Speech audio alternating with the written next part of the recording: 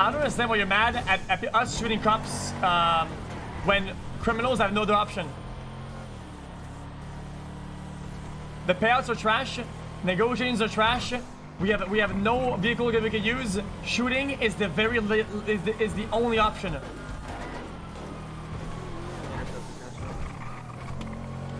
I stop. Let's just blind this guy then.